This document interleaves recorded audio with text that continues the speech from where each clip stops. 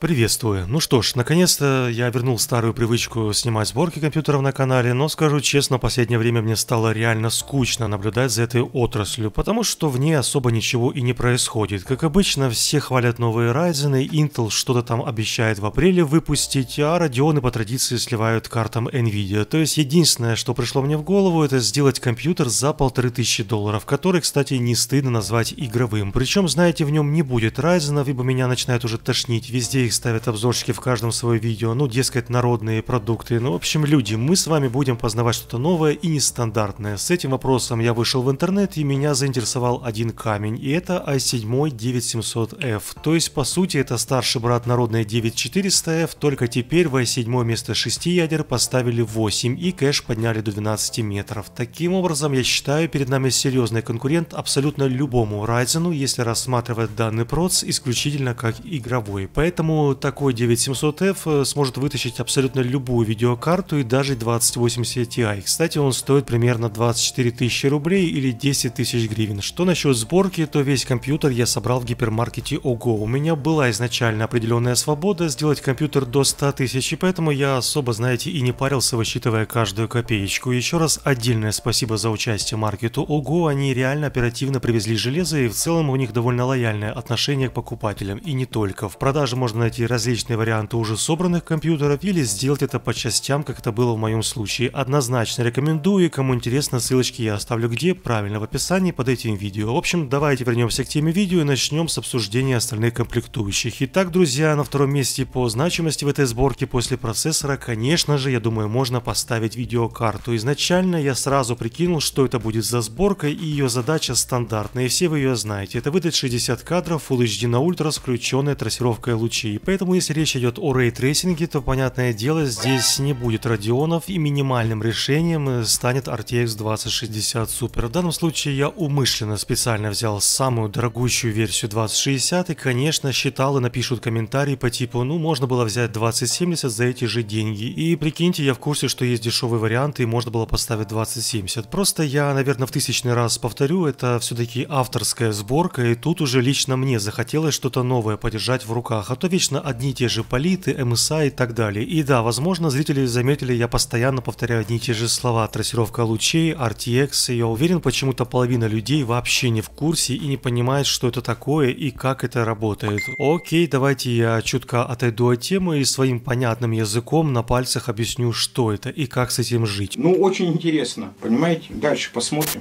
Окей, так все мы в школе изучали физику, и в ней есть такой раздел под названием «Оптика». По сути, оптика – это исследование различных световых явлений путем отслеживания взаимодействий отдельных лучей с разными поверхностями. Так вот, луч – это поток фотонов, который отражается бесконечное количество раз, и чтобы описать этот сложный процесс, требуются некие специальные знания. И вот если коротко, то RTX это и есть как бы всеобщая библиотека знаний о лучах, так сказать. Я знаю, это сложно звучит, но в общем это отдельный DXR массив, скажем, в той же DirectX 12, а само название RTX это просто маркетинг маркетинговое название этой самой библиотеки DXR. И тут, наверное, окончательно я запутал зрителей. И, впрочем, друзья, не важно, как это все называется, а самое важное это то, как все это работает. Ну, например, если объяснить это понятным языком, допустим, возьмем высокоинтеллектуальные игры вроде танков или Warface. И вот они работают, как мы знаем, на DirectX 11. И в них, как мы тоже понимаем, нет трассировки лучей. Однако, внимание, это не означает, что трассировка не может появиться там со временем вообще. Хотя, боже упаси, ведь все, что нужно разработчикам игры, это просто добавить отдельную DXR библиотеку в саму игру, которая и позволит работать с трассировкой лучей, используя One API. И, допустим, э, скажем, есть еще один мировой шедевр, это Minecraft, и вот, как мы знаем, он наконец-то получил поддержку библиотеки DXR, видеокарты RTX теперь рисуют там новую картинку с реалистичными тенями, отражениями, и даже появилось новое сглаживание DLSS. И, кстати, это сглаживание, оно основано на нейронных сетях, то есть, по сути, является интеллектуальным интеллектуальным и самообучаемым. Да, и такое тоже бывает. Я лично признаю, что выход первых тайтлов с поддержкой RTX не были удачными для новых видеокарт. Тут виновата, я уверен, не сама Nvidia и даже не видеокарты, которые изначально все называли типа слабыми. Нет, проблема была абсолютно в ином, это техническая часть самой игры. Первые внедрения RTX в игры для разработчиков были очень сложной задачей, поскольку для правильной реализации нужно было потратить на ее работу какое-то количество времени и, конечно же, бюджета. Поэтому некоторые отдельные компании просто решили не тратить свой кэш в свои проекты и оставить все как есть, или вообще не спеша работали над трассировкой. В итоге на старте мы получили сразу низкий FPS на картах RTX и также плохой визуальный ряд. Все это по вине, конечно же, разработчиков, и только некоторые компании подошли к этому действительно серьезно. Я помню, что кто-то смеялся над выходом Майнкрафта, мол, ну да, лучи, и что тут сверх такого сложного, что под это выпускать целую линейку видеокарт RTX. И на самом деле с Майнкрафта смеялись те унтерменьши, которые вообще не в курсе, как это все устроено. Ведь это, если так разобраться, довольно сложный алгоритм просчета. Например, такая фича, как Tracing, э, которая была невозможна в 2018, то теперь мы получаем порядка 120 кадров Full HD. И вообще сам алгоритм Tracing строится полностью на физически корректном взаимодействии объектов. Это вам, друзья, и каустика, и дисперсия, и глобальное освещение, и просчет хаотичных теней, плюс также отражение в отражении, и еще куча всяких штуковин. И все это, внимание, строится на уровне рендера, то есть в реальном времени. RTX это действительно, я считаю, крутая штука, и это мощный скачок не только компьютерной индустрии, но и также всеобщей индустрии. Пока что это кажется людям не очень важным явлением, но метро исход уже нам показали, как сильно меняется картинка, и я уверен, Киберпанк тоже покажет нам разницу. Если кому-то кажется, что это всего лишь временное явление, то, как мы уже все знаем, э, будущие консоли, то есть Sony, там Microsoft, приняли тот факт, что трассировка лучей это нужная и важная штука, и они добавят ее в свои движки. Например, PlayStation 5 будет точно с лучами, а консоли, как мы знаем, выходят минимум на 5 лет, а значит все эти 5 лет компании будут активно юзать трассировку. И тут возникает вопрос, а что нам может предложить компания AMD? Да ничего, собственно, э, Radeon это просто видеокарты, обычные видеокарты, не более, все. Хотя нет, стоп, у них есть кое-что, и это, конечно же... 7 нанометров, и 5 нанометров, и 3 нанометра.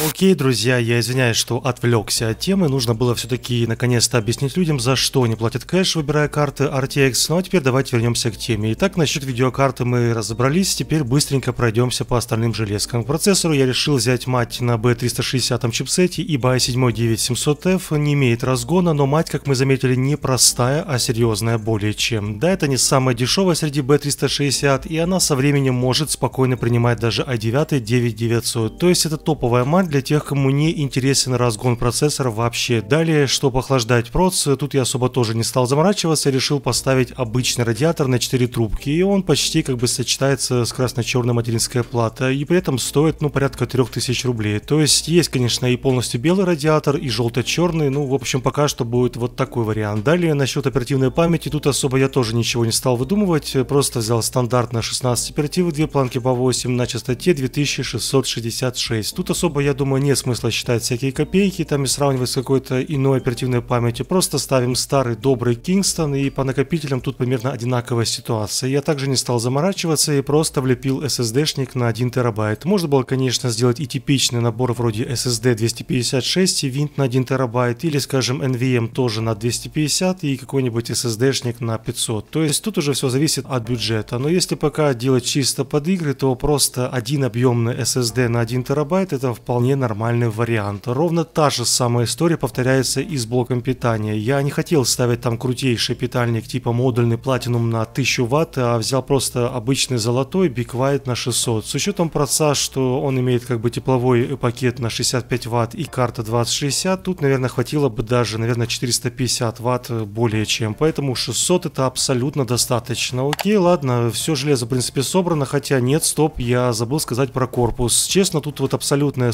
субъективщина. Мне захотелось просто немножко по свету собрать железки, то есть в красно-черном цвете, и корпус, поэтому тоже я взял именно в этом как бы цветовом диапазоне. И он как бы от фирмы Corsair. Да, это не самый дешевый ящик, я знаю, как показала практика, не самый продуманный с точки зрения кабель менеджмента, ибо нет в нем кожуха на блоке питания и провода торчат наружу. Но собран он вроде бы нормально, имеет каленое стекло, которое, кстати, упало у меня на пол, и причем не один раз, и при этом оно абсолютно не треснуло, а вот пол как бы, ну, повредился. Окей, только вот знаете, все это, конечно, замечательно, однако цена на этот корпус 7300 рублей или 3000 гривен. Есть, конечно, варианты и закрытым кожухом на блоке питания, но он стоит уже там 200-250, и там вообще абсолютно иной уровень продукта. Вот такие дела. Ну ладно, я надеюсь, теперь уже все, как бы у нас э, собран компьютер, давайте приступим к тестированию в играх. Что ж, как я уже сказал выше, тестировать игры буду на ультра запредельных настройках Full HD. Почему Full HD? Да потому что карта RTX 2060 Super как раз и является является королевой в этом разрешении, а все, что выше уровня вроде 2070 Super, это уже 2К или QHD, ультраширокий формат и так далее. То есть мой выбор, я думаю, всем абсолютно понятен. И тем более в 2020 еще полно людей с Full HD экранами, если даже не сказать 90%. И в таком случае начнем с последней части Wolfenstein Youngblood. Тут я выставил Uber запредельные настройки, плюс также включил трассировку лучей, а ее, кстати, такие разработчики добавили в игре, ведь, как я уже рассказывал выше, адаптация и появление трассировки, все это на совести и кармане разработчиков. Например, в метро сразу был DXR, в отличие от остальных, и, видимо, это была одна из тех компаний, кто делает сразу полноценную игру, а не со временем допиливает визуальную часть. Думаю, также будет и с Киберпанком, он сразу выйдет с трассировкой, но так или иначе Wolfenstein в среднем от 80 до 90 кадров на запредельных настройках с лучами, и поэтому вопросов у меня абсолютно нет.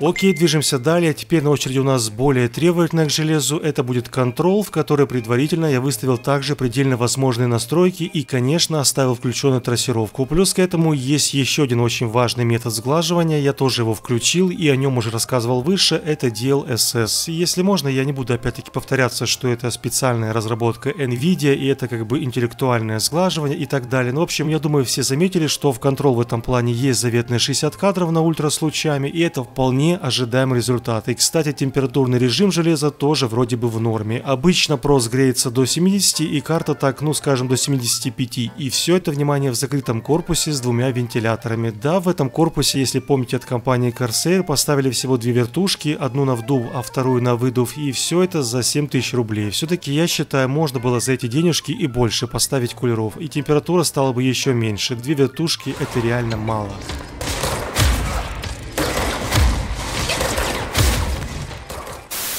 Ну и в конце давайте еще быстренько пройдемся по нескольким популярным вещам, вроде Battlefield 5 и Metro Исход. И в первом случае в Battlefield у нас на ультра с лучами от 70 до 90 кадров. Более высокий фрейм, как правило, это в мультиплеере на маленькой карте, ну а понижения обычно видны в сложных сценах с кучей эффектов и так далее. Насчет Metro Исход тут э, все куда более серьезно, у нас уже на ультра не будет 80-90 кадров, но так в среднем от 60 до 70 с просадками до 50. То есть можно сказать, что здесь есть более-менее стабильный 60, если сравнить показатели FPS с выключением трассировки лучей, то они, как правило, увеличиваются в среднем на плюс 20 кадров. Нет, это уже не тот случай, где было там, скажем, двукратное понижение, как это было в первое время, но и визуально без трассировки игра, конечно, заметно меняется. Появляется некое такое, ну, как бы, не знаю, явление, что вроде выключает тени, и это сильно заметно, особенно если рассматривать более внимательно каждую деталь на локации. Вот как бы такие дела. Ну что ж, друзья, уважаемые телезрители, наверное, я буду заканчивать это видео. По сути, у меня нет претензий к этой сборке, тем более за полторы тысячи долларов. Откуда уж, простите, тут взяться каким-то претензиям. Тут все как бы в порядке в этом плане, и видеокарта отличная, хоть и стоит тоже довольно отлично, и процесс имеет как бы приличный запас мощности и температуру. Да, есть, конечно, некоторые вопросы к корпусу, там не очень щедро как бы с вертушками, но можно при желании и от себя накинуть хоть 20 вертушек, тут уже каждый по-своему решает. Хотя и на двух кулерах э, тоже как бы сойдет железо еле теплое. В общем, это была сборка сделана э, в сторе ого за 100 тысяч рублей или 35 тысяч гривен, а в следующем видео будет еще одна сборка, но теперь же, внимание, в два раза дешевле. Надеюсь, это видео было вам полезным, я не хотел собирать очередной просто компьютер и, пользуясь случаем, просто донес некие знания насчет рынка видеокарт, и в частности, как работает RTX и зачем он вообще нужен в 2020 веке. Пишите в комментариях, что вы думаете на этот счет, на этом я выключаю свет и отправляюсь сделать новое видео. Это будет народная сборка для самых народных людей. Короче, увидимся уже абсолютно скоро. Всем удачи и здоровья, конечно же. Пока-пока.